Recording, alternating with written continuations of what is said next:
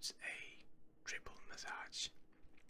And if you happen to fall asleep during the massage, because uh, some people get so relaxed that they just snooze off, uh, we let you nap in the room for up to five hours.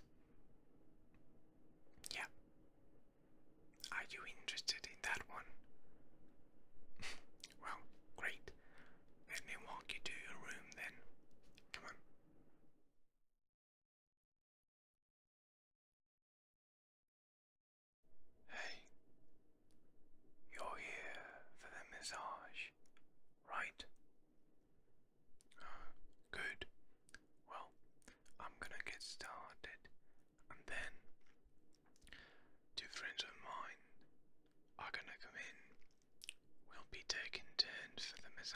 okay?